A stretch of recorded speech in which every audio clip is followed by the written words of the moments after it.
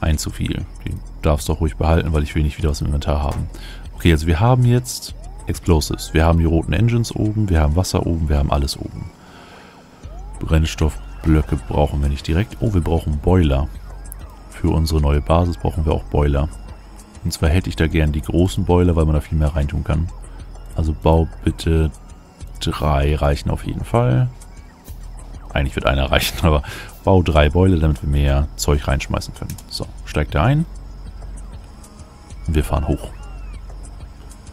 Also wir haben Boiler, wir haben Steam Engines, wir haben Akkus, wir haben Mauern, wir haben Türme. Wir haben nicht genug davon. Die baue ich jetzt. Wir werden nicht genug Schienen haben, um bis da ganz hinzukommen.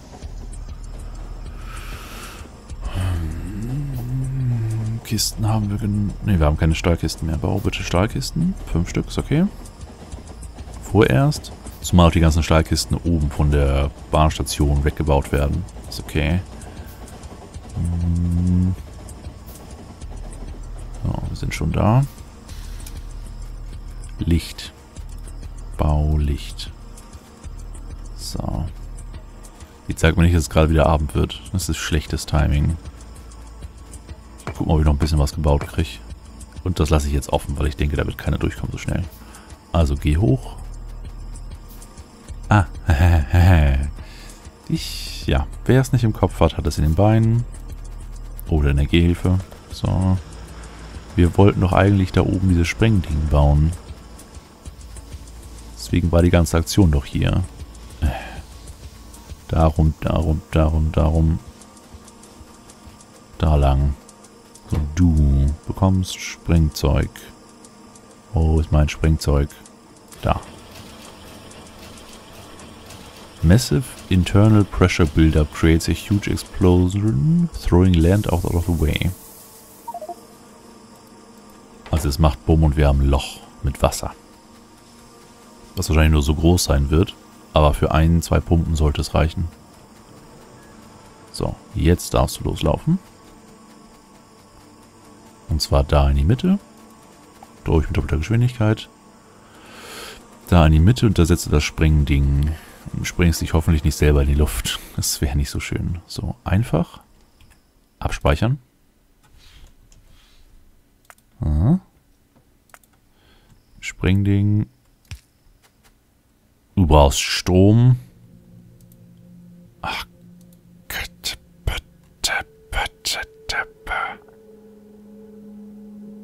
Ah, ich habe kein Kupfer.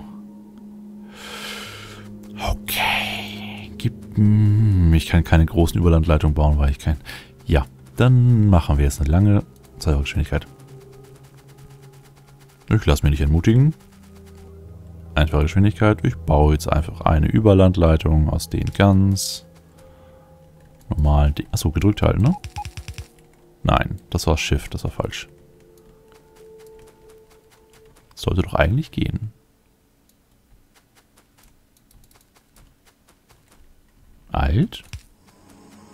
Ah, Alt war das. Also Alt gedrückt halten, rechte Maustaste gedrückt halten und einfach gehen. Dann baut das im maximalen Abstand. Und gut, dass es das gibt, sonst wäre es jetzt noch nerviger als vorher. Na, wo ist das doofe Ding?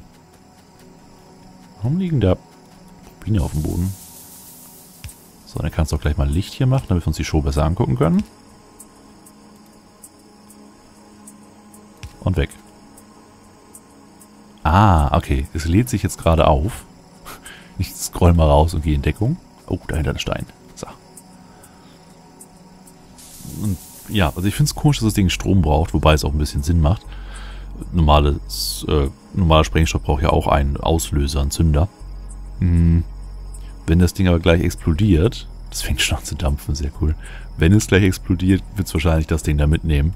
Mal gucken. Drei, zwei, eins. Das war laut.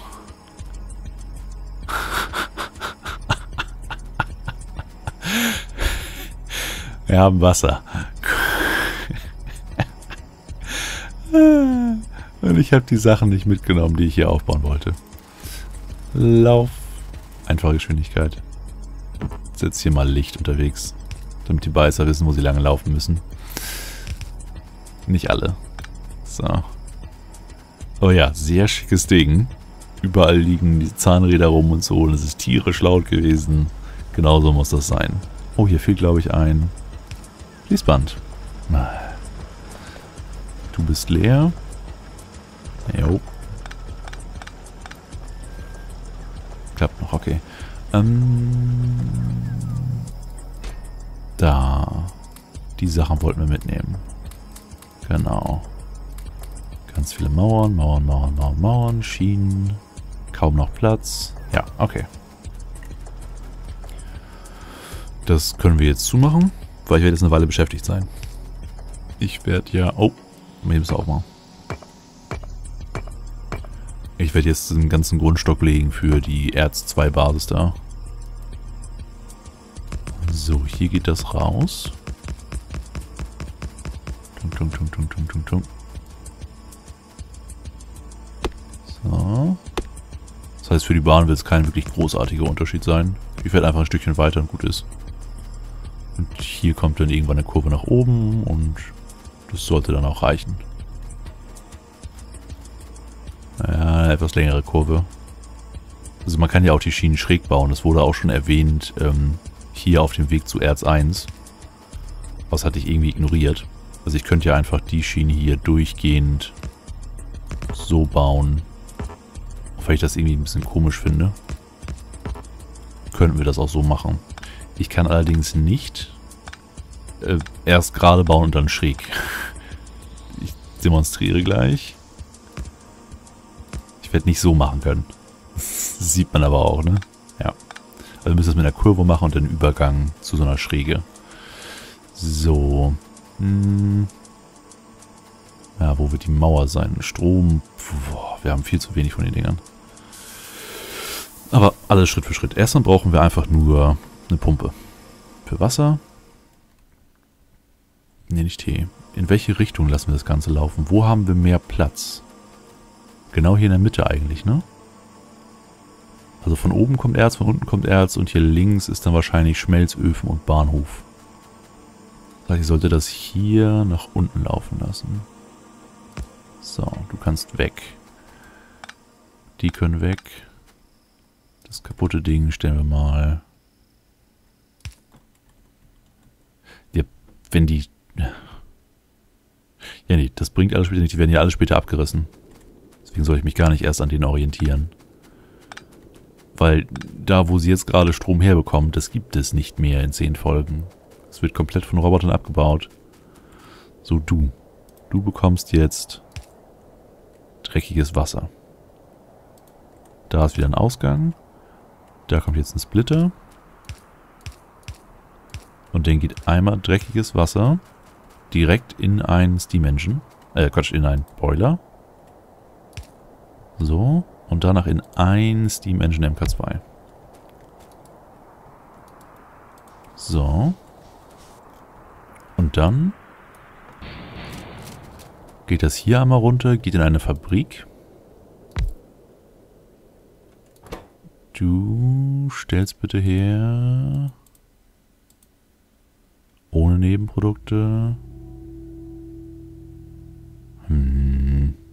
Ja, ohne Nebenprodukte. Ohne Nebenprodukte Wasser. Und tust es dann in zwei Boiler. Und tust es dann in zwei Steam Engines. Sieht jetzt nicht so schön aus, aber... Ähm, also ja, jetzt wo die also. So. Jetzt, wo diese Außenposten eh nur wirklich sehr temporär sind, also für gerade mal 20 Folgen oder so, habe ich da auch keine Hemmung, die mal ruhig ein bisschen hässlicher und unsymmetrisch und was weiß ich zu bauen. So, Kohle, äh, Holz kannst du auch noch verballern. Genau. Das heißt, wir haben jetzt schon mal Strom, das ist sehr gut. Wir können also die Akkus auch gleich irgendwo hier hinklatschen. So. Dann brauchen wir jetzt die Mining-Anlage selber. Also eigentlich bräuchten wir erstmal die Türme. Damit, falls jetzt schon ein Angriff kommt, wir überhaupt Schutz haben. So. Wollen wir alles verteidigen? Also auch die Mining Drills selber. Hm, falls die angegriffen werden sollten. Die Mining Drills selber kosten fast gar nichts. Die Ressourcen sind zu dem Zeitpunkt eh schon wegtransportiert. Wir können alles von Robotern neu aufbauen lassen, wenn wir es wollen. Hm, die Module gehen kaputt. Das ist teilweise teuer. Ja, ich glaube, ich versuche mal die Anlage selber auch komplett mit einzubeziehen. Was denn wirklich schweineteuer wird, aber mal gucken. Also, das hier wird unsere Außenwand. Eins, zwei Abstand, Mauer. Mauer, Mauer, Mauer, Mauer, Mauer. Könnte ich theoretisch auch wieder von den Robotern setzen lassen, ne?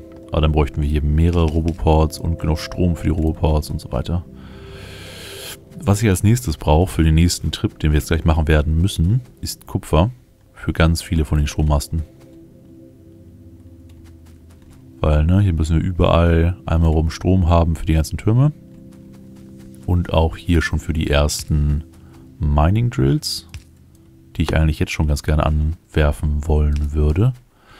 Damit während ich jetzt am Hin und Her laufen bin und da am Abbauen, hier am Aufbauen, Ressourcen holen und so weiter, dass in der ganzen Zeit über hier schon zumindest das Erz abgebaut wird. Das heißt, wie kriegen wir das am besten hin? Äh, das sieht jetzt ein bisschen komisch aus.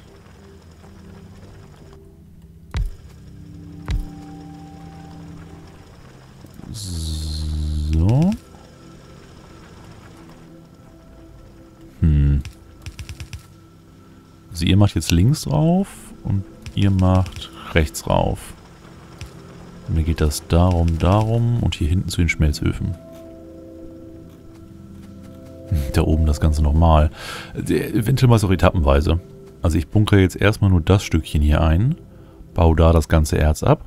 Wenn das ganze Erz hier weg ist, reißen wir mit den Robotern die ganzen Türme und die Mauern ab, machen hier neu zu, neue Mauern hin und erweitern dann alles nach oben. Das klingt sehr gut. Sehr, sehr gut sogar. Okay. Ähm, wieder Zeit gespart. Und da wir jetzt noch keine Schmelzöfen hier haben, richtig? Ich habe Steel Furnace. Haben wir die Möglichkeit, schnell Schmelzöfen zu bauen? Nein. Okay, da wir nicht schnell Schmelzöfen bauen können, kommen hier Kisten hin. Die Kisten schnappen sich das Erz. Die haben keinen Strom. Ähm. Ähm. Haben. Ja, hier.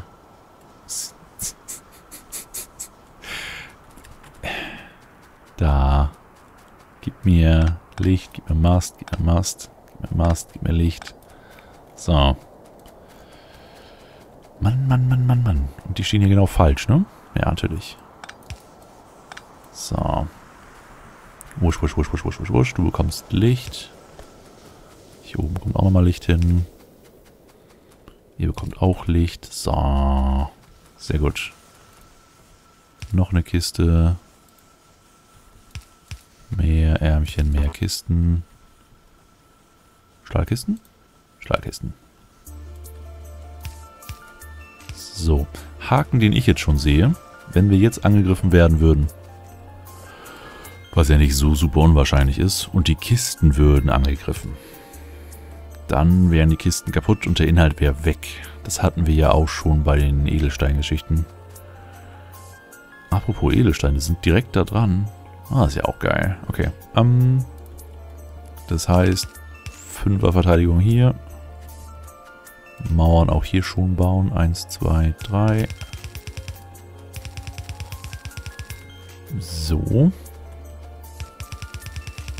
da hoch. Gut, nächste Folge.